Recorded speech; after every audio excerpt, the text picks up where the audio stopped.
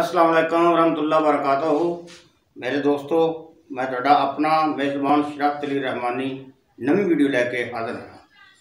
ਗੱਲ ਇਹ ਚੀਜ਼ ਦੀ ਹੈ ਕਿ ਸੈਦ ਪੀਰ ਵਾਰਿਸ ਸ਼ਾਹ ਨੇ ਹਿਰਦੀ ਕਿਤਾਬ ਵਿੱਚ ਲਿਖਿਆ ਹੈ ਸੁਲਾ ਕੀਤਿਆਂ ਫਤਿਹ ਜੇ ਹੱਥ ਆਵੇ, ਕਮਰ ਜੰਗ ਤੇ ਕਦੇ ਵੀ ਕਸੀਏ ਨਾ। ਜਿਹੜੀ ਸੁਲਾ ਕਰਨੀ ਹੈ ਕਿਸੇ ਨਾਲ, ਇਹ ਬੜਾ ਅੱਛਾ ਕੰਮ ਹੈ ਤੇ ਆਮ ਇਹ ਵੀ ਗੱਲ ਹੈਗੀ ਹੈ ਆਮ ਇੱਕ ਸ਼ੇਰ ਬਣਿਆ ਹੈ ਸੂਰ ਮਾਰਨਾ ਕੰਮ ਹੈ ਸੂਰਮੇ ਦਾ ਤੇ ਸੂਰ ਖਾਦਿਆਂ ਬੜਾ ਸਵਾਦ ਆਵੇ ਉਹ ਸੂਰ ਕਿਹਨੂੰ ਕਿਹਾ ਗਿਆ ਹੈ ਗੁੱਸੇ ਨੂੰ ਜੇ ਅਗਰ ਤੁਸੀਂ ਗੁੱਸੇ ਨੂੰ ਖਾ ਲੈਂਦੇ ਹੋ ਤੇ ਉਹਦੇ 'ਚ ਬੜੀ ਠਾਠ ਹੈ ਬੜਾ ਮਜ਼ਾ ਹੈ ਕਿਉਂਕਿ ਨਾ ਫਿਰ ਆਪਦਾ ਨੁਕਸਾਨ ਹੁੰਦਾ ਨਾ ਅਗਲੇ ਦਾ ਨੁਕਸਾਨ ਹੁੰਦਾ ਬੰਦਾ ਸੋਚ ਲੈਂਦਾ ਤੇ ਜਿਹੜਾ ਬੰਦਾ ਆਂਦਾ ਨਹੀਂ ਮੈਂ ਗੁੱਸਾ ਕੱਢ ਲਵਾਂ ਤੋ ਫਿਰ ਜਾਂ ਅਗਲੇ ਨੂੰ ਮਾਰੇਗਾ ਤੇ ਆਪਦਾ ਵੀ ਨੁਕਸਾਨ ਹੈ ਤੇ ਅਗਲੇ ਦਾ ਵੀ ਨੁਕਸਾਨ ਇਸੇ ਤਰ੍ਹਾਂ ਤੁਹਾਨੂੰ ਮੈਂ ਗੱਲ ਸੁਣਾਵਾਂ ਮੁਲਤਾਨ ਦੇ ਇਲਾਕੇ ਦੀ ਗੱਲ ਹੈ ਉਹ ਦੋ ਚੌਧਰੀ ਸਨ ਤੇ ਇੱਕ ਜਿਹੜਾ ਸੀ ਨਾ ਚੌਧਰੀ, ਉਹਦੇ ਚਾਰ ਪੁੱਤਰ ਤੇ ਇੱਕ ਧੀ ਸੀ ਤੇ ਇੱਕ ਜਿਹੜਾ ਸੀ ਉਹਦੇ ਕੋਲ ਇੱਕ ਪੁੱਤਰ ਤੇ ਇੱਕ ਧੀ ਸੀ। ਉਹ ਸ਼ਰੀਕਾ ਬਾਜੀ ਸੀ ਆਪਸ ਵਿੱਚ ਉਹਨਾਂ ਦਾ। ਉਹ ਵਾ ਵਸਦੇ ਰਹੇ, ਕਰਦੇ ਰਹੇ, ਕਰਾਉਂਦੇ ਰਹੇ, ਜਿਹੜੇ ਮੁੰਡੇ ਬਾਬਾ ਜਵਾਨ ਹੋਏ ਤੇ ਉਹ ਇੱਕ ਦੂਜੇ ਨਾਲ ਨਾ ਖੜਬਣ ਲੱਗ ਪਏ। ਕਦੇ ਲੜ ਪੈਣ, ਕਦੇ ਬੋਲ ਪੈਣ, ਕਦੇ ਸਲੂਕ ਕਰ ਲੈਣ। ਉਹ ਦੂਸਰਾ ਕੀ ਬਣਿਆ?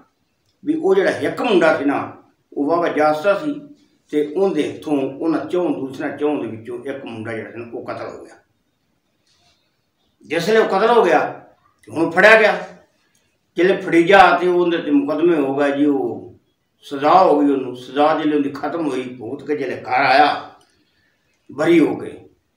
ਤੇ ਉਹਦਾ ਜਿਹੜਾ ਵਾਲਸ ਸੀ ਨਾ, ਉਹ ਬੜਾ ਸਮਝਦਾਰ ਤੇ ਦਿਨਾ ਬੰਦਾ ਸੀ। ਤੇ ਦੂਸਰਾ ਜਿਹੜਾ ਸੀ, ਉਹ ਵੀ ਦਿਨਾ ਸੀ। ਦੋਵੇਂ ਚੌਧਰੀ ਜਿਹੜੇ ਸਨ ਦਨਾਹ ਬੰਦੇ ਸਨ, ਲਾਈ ਬੰਦੇ ਸਨ।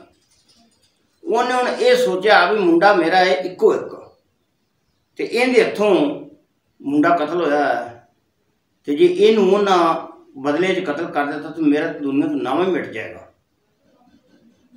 ਤੇ ਹੋਵੇ ਨਾ ਤੇ ਮੈਂ ਉਹਨਾਂ ਨੂੰ ਸੁਲ੍ਹਾ ਕਰਨ ਦੀ ਕੋਸ਼ਿਸ਼ ਕਰਾਂ, ਜੇ ਮੇਰੀ ਕੋਸ਼ਿਸ਼ ਕਾਮਯਾਬ ਹੋ ਜਾਏ ਤਾਂ ਮੈਂ ਸੁਲ੍ਹਾ ਕਰ ਲਵਾਂ ਲਵੀ, ਉਹਨੇ ਇਹ ਸੋਚ ਕੇ ਨਾ ਇੱਕ ਦਿਨ ਆਪਣੇ ਮੁੰਡੇ ਨੂੰ ਵੀ ਨਾਲ ਲੈ ਲਿਆ। ਇੱਕੋ ਇੱਕ ਉਹਦੀ ਧੀ ਸੀ, ਜਵਾਨ ਸਾਰੀ, ਉਹਨੂੰ ਵੀ ਨਾਲ ਲੈ ਲਿਆ ਤੇ ਆਥੇ ਤਲਵਾਰ ਕਰ ਲਈ। ਗਿਆ ਚਲਾਓ ਚੌਧਰੀ ਦੇ ਘਰ, ਸੋਤੇ ਦਿਓ ਪਿੱਛੇ ਨਮਾਜ਼ ਤੋਂ ਬਾਅਦ ਇਸ਼ਾ ਦੀ ਨਮਾਜ਼ ਤੋਂ ਬਾਅਦ ਚਲਾ ਗਿਆ। ਜਦ ਦਰਵਾਜ਼ਾ ਖੜਕਾਇਆ ਤੇ ਅੰਦਰ ਚੌਧਰੀ ਬੋਲਿਆ, ਉਹਨੇ ਹਾਂ ਵੇ ਕੌਣ ਹੈ ਅਸਲੇ ਕੌਣ ਮੇਰਾ ਦਰਵਾਜ਼ਾ ਖੜਕਾਉਂਦਾ? ਉਹ ਕੋ ਬੋਲਿਆ, ਚੌਧਰੀ ਉਹਨੇ ਆਖਿਆ, ਬਈ ਮੈਂ ਆ, ਫਲਾਣਾ ਬੰਦਾ। ਤੈਨੂੰ ਮਿਲਣ ਵਾਸਤੇ ਆਇਆ ਦਰਵਾਜ਼ਾ ਖੋਲ। ਉਹਨੇ ਆਖਿਆ, ਤੂੰ ਐਸੇ ਵੇਲੇ ਅੱਧੀ ਰਾਤੀ ਕਿਹਦੇ ਆਇਆ ਮੇਰੇ ਘਰ? ਅੱਗੇ ਮੇਰਾ ਮੁੰਡਾ ਤੇਰੇ ਮੁੰਡੇ ਨੇ ਕਤਲ ਕਰ ਛੱਡਿਆ। ਹੁਣ ਦੁਬਾਰਾ ਹੋਰ ਕੋਲ ਸਿਰ ਲੈਣ ਆ ਗਿਆ ਕਿਸੇ ਦਾ? ਉਹਨੇ ਆਖਿਆ, ਨਹੀਂ, ਦਰਵਾਜ਼ਾ ਖੋਲ, ਇੱਕ ਵਾਰੀ ਤੂੰ ਮੇਰੀ ਗੱਲ ਸੁਣ।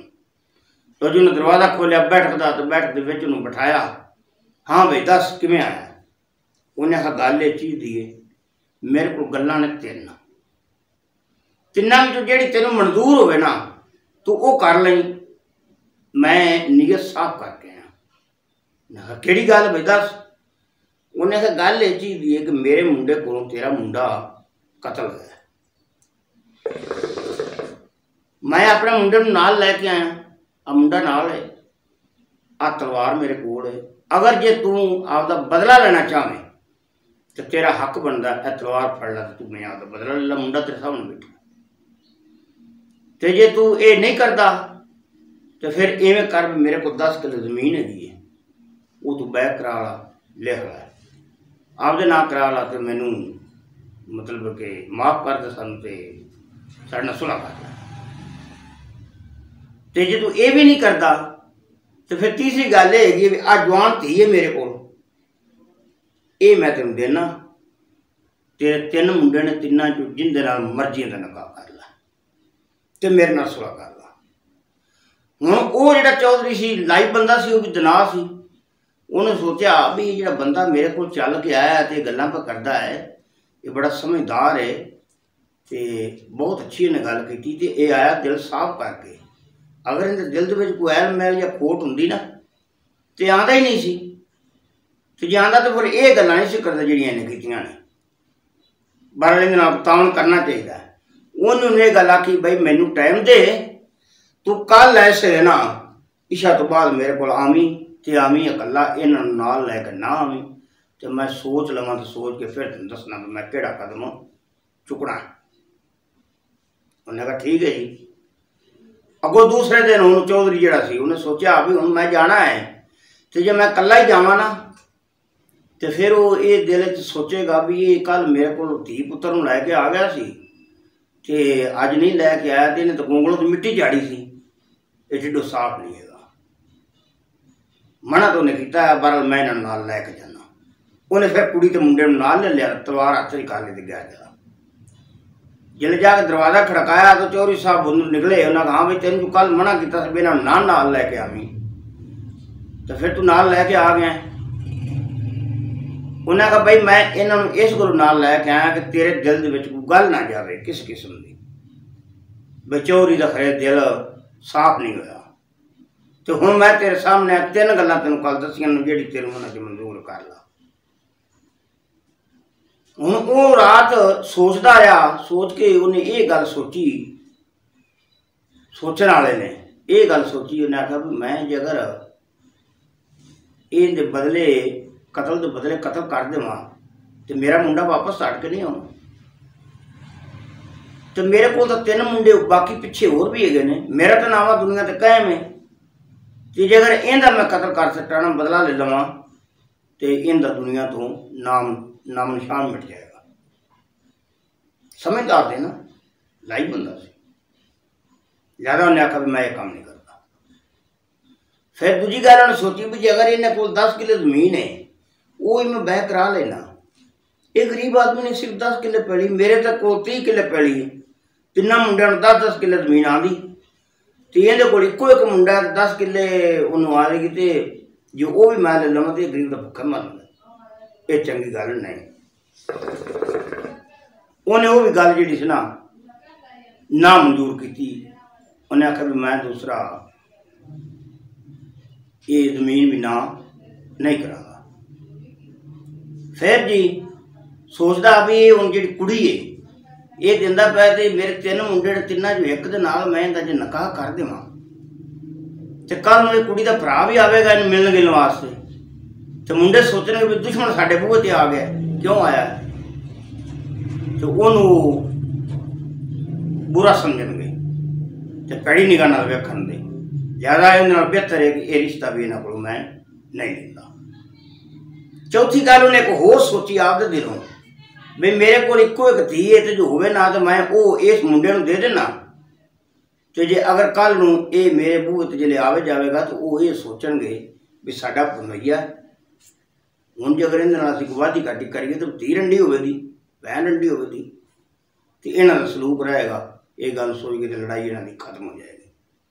ਉਹਨੇ ਇਹ ਗੱਲ ਸੋਚ ਕੇ ਤੂੰ ਉਹਨੂੰ ਆਖਿਆ, ਬਈ ਅੱਲਾ ਦੇ ਬੰਦਿਆ, ਮੈਂ ਨਾ ਤੇਰੇ ਕੋਲੋਂ ਬਦਲਾ ਲੈਣਾ ਕਤਲ ਦਾ ਬਦਲਾ ਕਤਲ ਤੇ ਨਾ ਤੇਰੇ ਕੋਲ ਮੈਂ ਭੋਏ ਲੈਣਾ ਤੇ ਨਾ ਤੇਰੇ ਕੋਲ ਰਿਸ਼ਤਾ ਲੈਣਾ ਲਿਆਦਾ ਮੈਂ ਆਪਣੀ ਬੇਟੀ ਦਾ ਰਿਸ਼ਤਾ ਤੈਨੂੰ ਦੇਣਾ ਉਹਨੇ ਮੁੜ ਉਹ ਪੁੱਛਿਆ ਵੀ ਇਹ ਵਜ੍ਹਾ ਕੀ ਹੈ ਤੂੰ ਮੇਰੇ ਕੋਲ ਰਿਸ਼ਤਾ ਨਹੀਂ ਲੈਂਦਾ ਤੇ ਆਪਦੇ ਕੋਲੋਂ ਦੇਣਾ 10 ਮਿੰਟ ਵਜ੍ਹਾ ਕੀ ਉਹਨੇ ਮੁੜ ਸਾਰੀ ਗੱਲ ਨੂੰ ਸਮਝਾਈ ਉਹਨਾਂ ਕਹਾ ਵੀ ਇਹ ਗੱਲ ਹੈ ਜੇ ਅਗਰ ਮੈਂ ਬਦਲਾ ਮੈਂ ਇਹ ਗੱਲ ਸੋਚੀ ਹੋਵੇ ਜੇ ਤੇਰੇ ਕੋਲ ਬਦਲਾ ਲੈ ਲਵਾਂ ਤਾਂ ਤੇਰਾ ਤੇ ਕੋਈ ਮੁੰਡਾ ਤੇਰਾ ਦੁਨੀਆ ਤੋਂ ਨਾਮ ਹੀ ਖਤਮ ਹੋ ਜਾਏਗਾ ਤੇ ਜੇ ਜ਼ਮੀਨ ਲੈ ਲਵਾਂ ਤੇ ਬੇਜ਼ਮੀਨੇ ਹੋ ਜਾਣਗੇ ਵਿਚਾਰੇ ਮੇਰੇ ਕੋਲ ਤਾਂ ਵੀ ਕਾਫੀ ਹੈਗੀ। ਤੇ ਦੁਨੀਆ ਤੋਂ ਲੈ ਕੇ ਜਾਣਾ, ਇਹ ਜ਼ਮੀਨ ਇੱਥੇ ਹੀ ਰਹਿ ਜਾਣੀ, ਨਾ ਨਾਲ ਲੈ ਗਿਆ ਕੋਈ ਤੇ ਨਾ ਲੈ ਜਾਣੀ ਹੈ। ਤੇ ਮੈਂ ਇਹ ਤੈਨੂੰ ਮਾਫ ਕੀਤਾ, ਮੈਂ ਨਾ ਜ਼ਮੀਨ ਲੈਣਾ ਤੇ ਨਾ ਬਦਲਾ ਲੈਣਾ। ਤੇ ਰਿਸ਼ਤਾ ਇਸ ਵਾਸਤੇ ਲੈਂਦਾ ਵੀ ਤੇਰੇ ਮੁੰਡੇ ਨੂੰ, ਤੇਰੇ ਮੁੰਡੇ ਇੱਕ ਦੇ ਨਾਲ ਤਾਂ ਨਕਾਹ ਹੋ ਜਾਏਗਾ ਕੁੜੀ ਦਾ ਤੇ ਦੂਜਾ ਜਿਹੜੇ ਦੋ ਨੇ ਉਹ ਇਹਨੂੰ ਪੈੜੀ ਨਹੀਂ ਨਾਲ ਵੇਖਣ ਤੇਰੇ ਮੁੰਡੇ ਨੂੰ। ਆਪਦੀ ਦਾ ਇਹ ਕੋਲ ਤੈਨੂੰ ਰਿਸ਼ਤਾ ਦੇਣਾ ਪਿਆ ਵੀ ਉਹਨਾਂ ਦਾ ਹੀ ਬਣ ਜਾਏਗਾ ਬਣਵਈਆ ਉਹ ਸੋਚਣਗੇ ਵੀ ਹੁਣ ਦੇ ਨਾਲ ਕੋਈ ਵਾਦੀ ਘਾਟੀ ਕਰੀਏ ਨਾ, ਤੇ ਭੈਣ ਜਿਹੜੀ ਨਾ ਸਾਡੀ ਉਹ ਰੰਡੀ ਹੁੰਦੀ ਹੈ। ਇਹ ਸੋਚ ਕੇ ਮੈਂ ਤੈਨੂੰ ਆਪਦੀ ਧੀ ਦਾ ਰਿਸ਼ਤਾ ਦੇਣਾ ਉਹ ਵੀ ਸਮਝਦਾਰ ਸੀ ਨਾ ਕਹਾ ਬਹੁਤ ਅੱਛੀ ਗੱਲ ਸੋਚੀ ਚੌਧਰੀ ਤੂੰ। ਅੱਲਾਹ ਤਾਲਾ ਤੈਨੂੰ ਖੁਸ਼ ਰੱਖੇ ਤੇ ਬਹੁਤ ਬਹੁਤਾ ਦੇਵੇ ਇਹ ਤੂੰ ਬੜੀ ਚੰਗੀ ਗੱਲ ਸੋਚੀ। ਲੋ ਜੀ, ਉਹਨਾਂ ਨੇ ਉਹ ਰਿਸ਼ਤਾ ਦੇ ਦਿੱਤਾ ਤੇ ਦਿਨ ਮੁਕਰਰਾ ਕੀਤੇ। ਮੁਕਰਰਾ ਕਰਕੇ ਤੇ ਉਹਨਾਂ ਦੀ ਸ਼ਾਦੀ ਹੋ ਗਈ।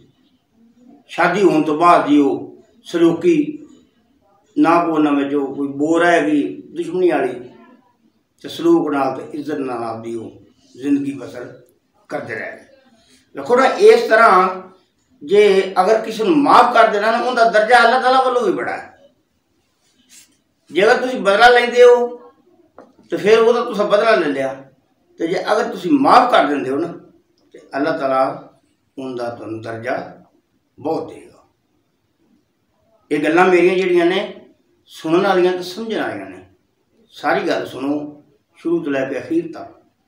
ਤੇ ਮੇਰੇ ਇਸ ਚੈਨਲ ਫਰਿਆਦ ਮੂਦ ਨੂੰ ਸਬਸਕ੍ਰਾਈਬ ਕਰਕੇ ਬੈਲ ਔਨ ਕਰੋ, ਤਾਂ ਕਿ ਮੇਰੀ ਆਉਣ ਵਾਲੀ ਹਰ ਵੀਡੀਓ ਜਿਹੜੀ, ਉਹ ਤੁਹਾਡੇ ਕੋਲ ਬਾਸਾਨੀ ਪਹੁੰਚੇ। ਤੇ ਇਹ ਗੱਲ ਮੇਰੀ ਮੁਕੰਮਲ ਹੋਈ। ਲਾਈਕ ਕਰੋ ਕਮੈਂਟ ਕਰੋ, ਦੱਸੋ ਵੀ ਕਿਸ ਤਰ੍ਹਾਂ ਤੁਹਾਨੂੰ ਲੱਗੀ ਹੈ ਤੇ ਅਗਲੀ ਵੀਡੀਓ ਤੱਕ ਮੈਨੂੰ ਇਜਾਜ਼ਤ ਦਿਓ। ਅੱਲਾਹ ਹਾਫਿਜ਼ ਪਾਕਿਸਤਾਨ ਜ਼ਿੰਦਾਬਾਦ।